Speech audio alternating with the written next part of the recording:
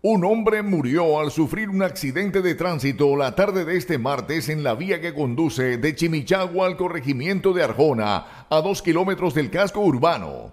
Se trata de José de los Santos Romero Camaño, de 27 años, oriundo del Banco Magdalena, el cual se movilizaba en una motocicleta Bajaj placas QBV71E y perdió el equilibrio e impactó contra un árbol.